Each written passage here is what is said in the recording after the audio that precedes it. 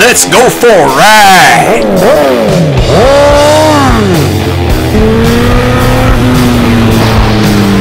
You are watching CycleCruza's all on one motorcycle channel. Subscribe today! Hey guys, I'm going to do a little test ride and review on a new Harley Breakout. I just want to give you some basic specs on this bike. Uh, 1690cc air-cooled twin engine. Has a 6-speed transmission, 68 horsepower at 5k RPM, 87 foot-pounds of torque at 3k RPM, belt-driven, has standard ABS brakes, has a 5-gallon tank, averages 37 miles per gallon, has a 18-inch 240 rear tire, 26-inch seat height, and 710 pounds wet. Now let's take a little ride to the Harley-Davidson dealership.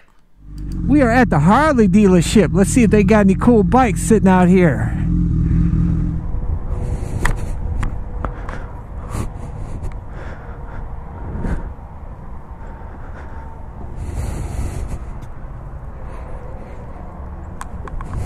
Cool.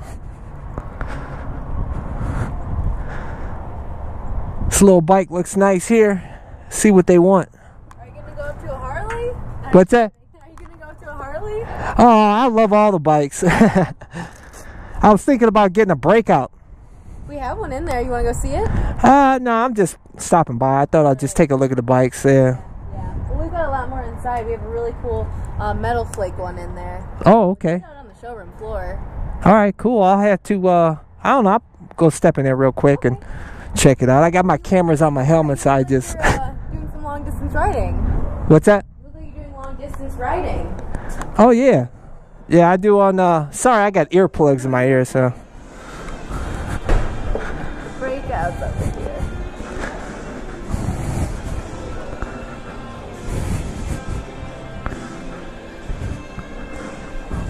This. Nice. That's beautiful. Yeah, this bike's modeled after like a hot rod car, kinda. You know, it's slimmer in the front, but it's fat in the back. It's got the 240 wheel.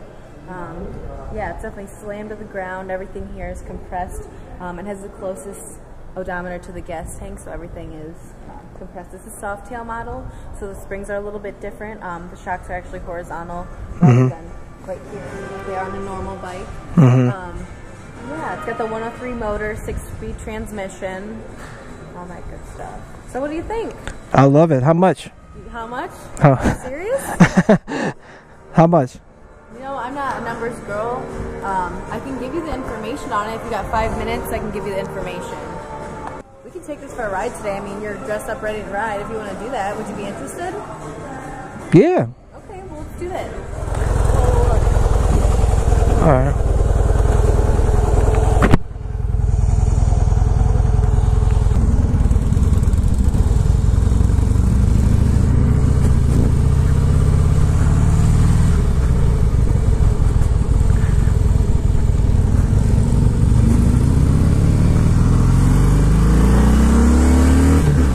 God, this thing is slow as hell compared to my bike, man.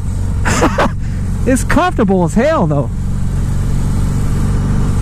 Clutch is easy, pull in, like my CBR 1000 RR.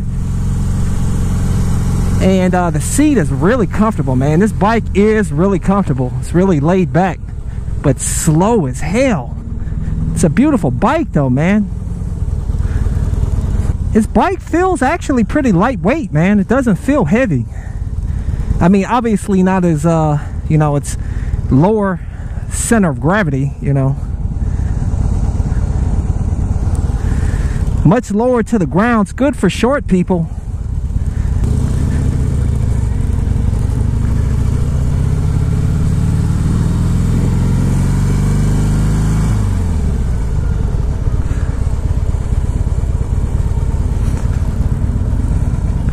I'm not even turning now. I gotta figure out what.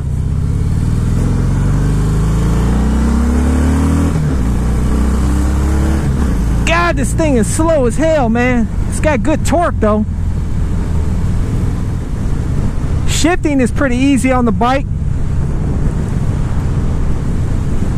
Just doesn't have the pull like my bike at all, man. Serious. But shit, I can sit here and ride on this thing for a week, man. it is really comfortable. Feels like I'm sitting in an easy chair. oh shit. Now we'll see how it turns here on this corner. Ah, turning's not bad. Smooth. You can feel vibration on the bike. It's not smooth as butter like my CBRs. Yeah, you can feel vibration in the pegs and the handlebars.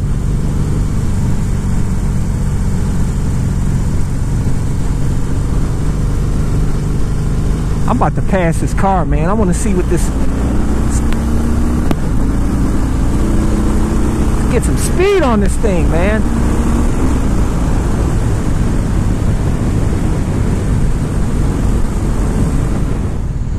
Just nothing like my CBR at all, man. It's like night and day. But obviously, these are two different bikes. Okay, off the line. Ah, oh, shit. The gearing is really short. Damn. trying to figure out where the hell is the turn signals. How do you cancel? God, this thing, you gotta, you definitely gotta use all the gears on this bike, guys. You know, when you have the gas going, that's when you feel the vibration. Let off the gas, smooth as butter. Let on the gas, feel the classic Harley Davidson vibration. Yeah, but man, I, these, this is a nice little cruiser bike out here on these long country roads. I could see myself traveling across the country on this bike, man. The only thing I'd be concerned with is like a car pulled out. I can't really, you know, you can't get out of harm's way quickly, you know, flick the bike like you can with the sport bikes. Because the power on this is just, oh man, it's just so weak compared to my CBR 600 RR and my uh, my 1000.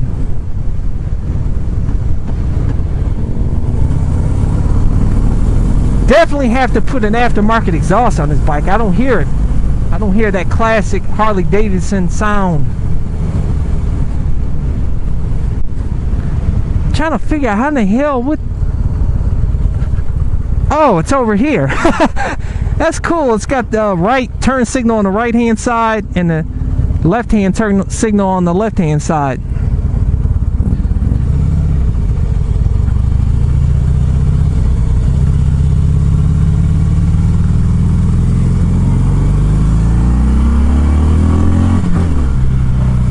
God, tons of vibration, definitely, but not bad, not too bad. I can see myself cruising across the country on this bike. It wouldn't be too bad.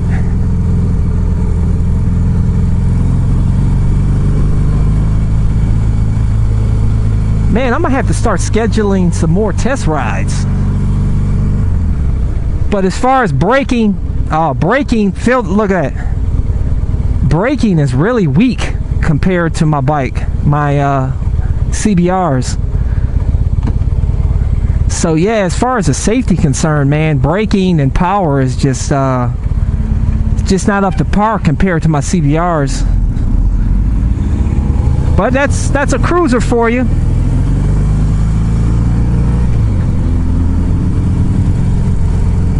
Kind of expensive for what you get. You know, you're getting pretty. You're getting a, a beautiful bike. Um, you're getting a classic Harley Davidson sound. But uh, really, these bikes are overpriced in my opinion. Way overpriced, man.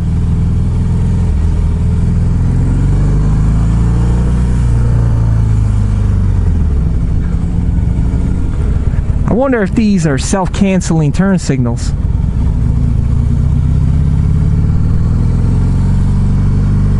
Yeah, self-canceling turn signals, guys. That's perfect for CycleCruza. I need it, man. I wish I had that on my bike.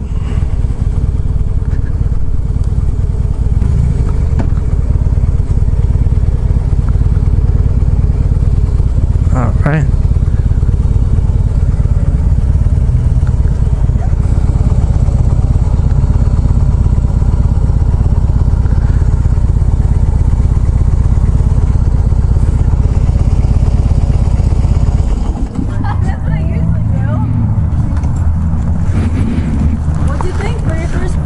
Bike is it's nice and smooth, comfortable riding position, but oh my god, it's so much slower than my bike. the power. Yeah, I know it's a cruiser though, but this is the first time I rode a cruiser though, so you have to understand. Right. Yeah. Oh yeah. Huh? Oh, you can? Oh, okay. Make that 107 horse without any problem. Wow. Yeah, it's a good looking bike, comfortable. Um, braking power is not as strong as my bike, but uh, Well, I'm getting this as a. I'm I'm gonna buy probably buy this obviously as a second bike because I like the best of both worlds. But uh, has ABS. Does your bike got ABS on it? no. That's where you're feeling the difference. Oh, okay. Yeah, this is this is designed that if you get into trouble, you could steer out of it. Uh-huh. Wheels don't lock up. They'll break and lock, you know, and, and unlock and unlock. Oh yeah, I'm familiar. I had it on the 250 that I had, but I chose not to get on this bike because I didn't want the extra weight. It put like an extra 30 pounds on that bike, so. This Yeah. no extra weight here at all. Yeah, this bike actually doesn't. It doesn't feel. I was expecting it to feel real heavy, uh, but actually it feels pretty. It rides light. Yeah. Yeah. So how much? What? What? The ballpark figure? What do these run? About what? 20, 18, 20, 25? Range, yeah, 18 Uh-huh. 20, somewhere in that range. Like I said, if you want it, if you want a 100 horsepower motor out of it, it's about 4,000 more, and it'll be 107 horse and 102 foot pound of torque. They literally scoot right out from under you. Wow. So what do you guys do to it to uh, add the extra power? Put a stage four kit in it, Oh, okay. heads apart. Uh, they're ported, CNC ported heads, Mm-hmm. different pistons, different rings, different throttle body, um, higher compression, different cams. Okay. it- It'll jump right up. I got one sitting on the floor that's 107 horse right now. Wow. The difference Yeah, it wasn't bad, but it's just uh. weighs about 300 pounds less than that one does. Oh, okay. With that bike in there, you could pull the front wheel if you want to. Wow. Yeah, beautiful bike. I love the style on this bike. Yeah, you're looking for just all out shit and get, then you should be looking at a V-Rod. yeah. Oh no, that's what I had that bike for. Yeah. like I said, I have two bikes. I have a 600 uh, CBR 600 RR, and I have this bike I just bought uh, not too long ago. Okay. That's a 2012 CBR 1000 RR. This is But get uh, up, relax, enjoying ride, look at the country. yeah, That's- exactly, That's what Right. exactly. That's why I was gonna sell my 600 and uh, looking to get one of these. So. Thanks a lot. I appreciate it. yeah. We've got some options on financing now they may not have in the spring. Oh, I pay cash. I pay cash for my bikes. I don't. I don't. So, what do you think, guys? Harley Breakout. Have them put the stage three kit on it and make it faster. It looks sick. Weak as hell as far as power. Very comfortable for those long country cruises. And uh, I don't know if I'd get the metal flake though. I like the black.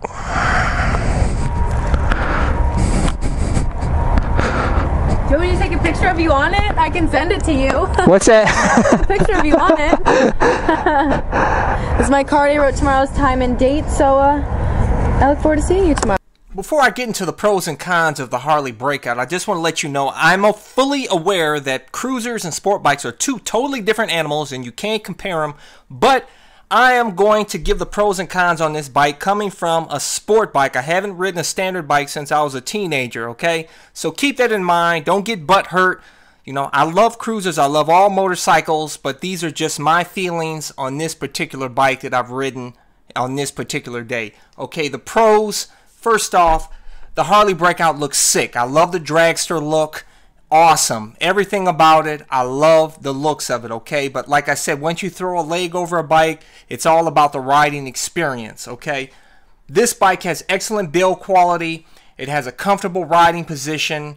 It's got the hands-free key fob with security. It's got the suspension is great for street riding. It rides lighter than it weighs. The vibes actually are not bad and actually feel kind of therapeutic. It has a classic Harley sound. It's got decent torque and it comes with a two-year warranty. Okay, now for the cons, which actually the pros outweigh the cons here on my list. But the cons are much more potent than the pros. First, let's start with the price. We're talking $20,000 for this bike, guys. In my opinion, 50% overpriced. I wouldn't pay any more than $10,000 for this bike, especially with the performance that you get with this bike, which has really sucky passing power. It's just underpowered for me. And to spend $4,000 on a Stage 3 kit to add 300 pounds to the bike just to get a little more oomph out of the bike, not worth it in my opinion. And this bike has weak brakes, although it is a cruiser, and I know cruisers don't have brakes like sport bikes, okay? But I love the brakes on sport bikes much better, and it, it actually it just doesn't feel safe to me out on the streets, okay? They may not be bad for you guys that ride cruisers, but for me coming from a sport bike, it's bad. Uh, the peg scrape on turns. I don't like the speedo. I couldn't even really tell how fast I was going because the, the gauge is just has such tiny numbers and I don't like the layout of it at all.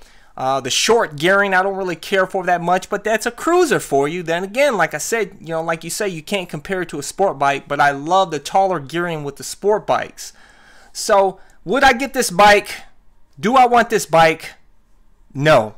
I'd rather have this bike the 2015 Suzuki Boulevard M109R Boss. Only $14.99, much faster and weighs about the same and looks just as good, if not better. But I'll have to do a test ride to see if I actually like this bike.